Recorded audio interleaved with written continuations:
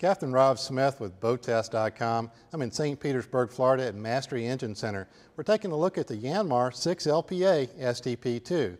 Now what that stands for, is Tier 2 compliant. What's special about that? It's a mechanically operated engine. Everybody else has gone to electronics to be able to meet that Tier 2 compliance. This was mechanical. It's a 4.2 liter engine creating a lot of horsepower in a small package. So let's take a good look at the 6LPA STP2 from Yanmar. Yanmar continues to build on one of the marine industry's most reliable engines, now with a flatter torque curve for more usable power, less emissions, and greater horsepower for its size. From this view, we can see the onboard fuel filter, spin-on oil filter, and intercooler all tight and compact to the engine. The fuel injector system on this engine is a two-stage system for better performance and economy. The starter is typical of Yanmar's gear reduction starter design being small in size and using less amps to run. The raw water pump is conveniently placed just below the fuel filter water separator. Let's talk about a couple of different things about the 6LP that uh, is different than a lot of other mechanical engines out there. For one, it's not necessarily different, but we do have an overhead cam. There's not many of them out there like that. It's an overhead cam with an aluminum valve cover. One of the things though is, here's our um, fuel injection pump.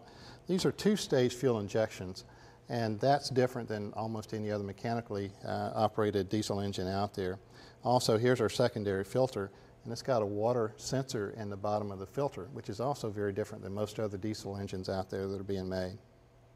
Lightweight protective covers on the front prevent accidental contact with the two drive belts or 80 amp alternator. On the left side, we can readily see the intercooler, heat exchanger, and dipstick.